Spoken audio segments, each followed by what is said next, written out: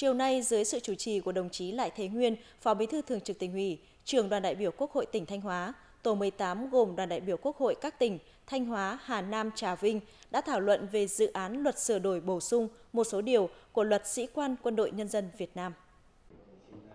Các đại biểu cơ bản đồng tình với tờ trình của chính phủ và báo cáo thẩm tra của Ủy ban Quốc phòng An ninh của Quốc hội về luật sửa đổi bổ sung một số điều của luật sĩ quan quân đội nhân dân Việt Nam.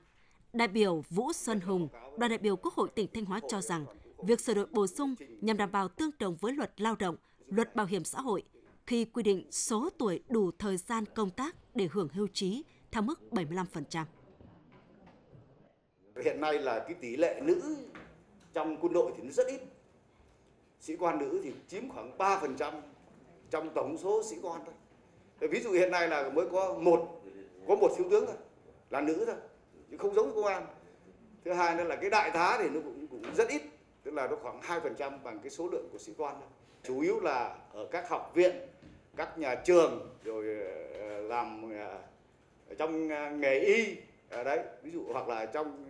về nghiên cứu khoa học. Cho nên là Bộ Quốc phòng và Quân ủy Trung ương Bộ Quốc phòng là đề nghị với chính phủ là là không phân biệt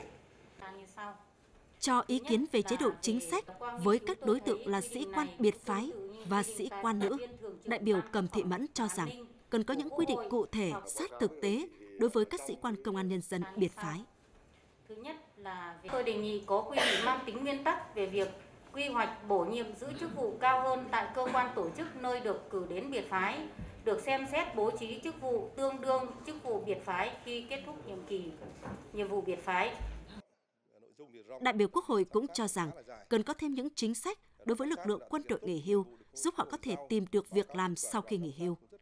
Buổi sáng, thảo luận ở hội trường về báo cáo của đoàn giám sát và dự thảo nghị quyết của Quốc hội về kết quả giám sát chuyên đề, việc thực hiện chính sách pháp luật về quản lý thị trường bất động sản và phát triển nhà ở xã hội từ năm 2015 đến hết năm 2023.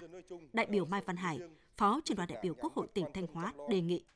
ngày 3 tháng 4 năm 2020. Đề nghị chính phủ tiếp tục quan tâm chỉ đạo tháo gỡ khó khăn vướng mắc các điểm nghẽn trong thực hiện các chính sách pháp luật về nhà ở xã hội trong lĩnh vực đầu tư, đất đai, quy hoạch, sửa đổi các chính sách thu hút để thu hút các nhà đầu tư giúp cho người có thu nhập thấp, công nhân,